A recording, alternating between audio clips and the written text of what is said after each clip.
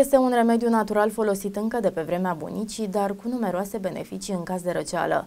Leacul se prepară și astăzi în mănăstiri și are efecte nebănuite atunci când te confrunți cu virose respiratorii. Ridichea neagră are numeroase beneficii pentru sănătate, întrucât ajută la detoxifierea ficatului, al conținutul bogat de vitamina C sporește imunitatea organismului în ceea ce privește răcelile. Vitaminele B și E, fosforul, sodiul, potasiul, iodul, sulful, magneziul, fierul și calciul, dar și fibrele pe care le conține reglează digestia. Remediul naturist împotriva tusei, ridichea neagră este de ajutor când ai răcit și nu numai. La îndemână și ușor de preparat în tratamente făcute în casă, poate fi folosită ca adjuvant adjuvant în mai multe afecțiuni. Bogată în vitamine și minerale, are proprietăți benefice pentru sănătate. Cei care suferă de diverse afecțiuni trebuie să ceară sfatul medicului înainte de a consuma acest sirop. Siropul este foarte ușor de obținut, numai că din păcate nu prea îi se acordă atenție. Folosim chimicale în loc să folosim acest tratament miraculos, care a fost lăsat de bunul Dumnezeu, spun preoții de la Mănăstirea Sălnic din Argeș, care au prezentat pe canalul de YouTube Trinitas TV cum se prepară siropul de ridiche neagră. Aceeași ridiche poate poate fi folosită de mai multe ori pentru a prepara siropul. Tratamentul calmează episoadele de tuse, ameliorând totodată răgușeala și durerea în gât, simptome ale virozelor respiratorii. Din miezul de ridiche rămas se poate prepara o salată sau se poate tăia felii subțiri care se presară cu puțin zahăr și se lasă la macerat peste noapte, cu efecte similare siropului, relatează adevărul.ro.